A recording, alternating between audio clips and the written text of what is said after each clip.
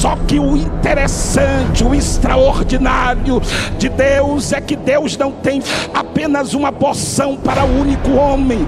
Deus não se faz exclusivo apenas de uma única pessoa, não.